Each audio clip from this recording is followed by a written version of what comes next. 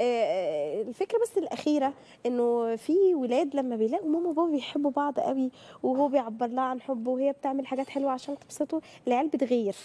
تقول لك يلا بقى إيه أنا هروح أشتكي من من ماما لبابا عشان يعني يحسوا إن أنا موجود شوية في حياتهم مهتمين ببعض وأنا مفيش يعني هوا معدي.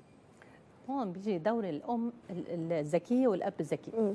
فلما بيكونوا الأولاد هم محور حياة الزوجين وأنا أشكر عزيزتي اشجان لما قالت زوجة ثم أم.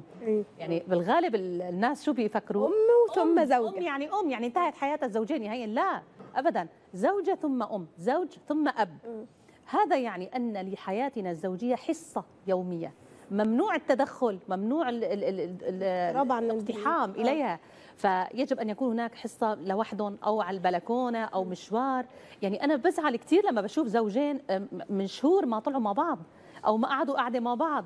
ليه؟ ما اتركوا الأولاد لو كان يوم بالأسبوع عند التيتا أو عند الجدة وطلعوا. يعني لو نص ساعة مشوار مشي ما تكلفوا.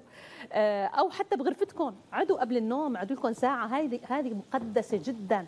وترمم كثير من طب اللي بيعملوا. كده والعيال بتغير يغيروا برا ليشبعوا يعني لما بتطلعوا والأولاد يدقوا الباب ويعملوا قصص الحزم والحسم بالموضوع هو اللي بيخليهم ما يعيدوها مرة ثانية.